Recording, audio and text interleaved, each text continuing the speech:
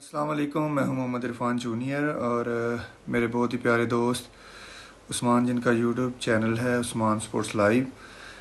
और इस चैनल को ज़्यादा से ज़्यादा सब्सक्राइब करें और मज़े की वीडियो ज़्यादा से ज़्यादा शेयर करें थैंक यू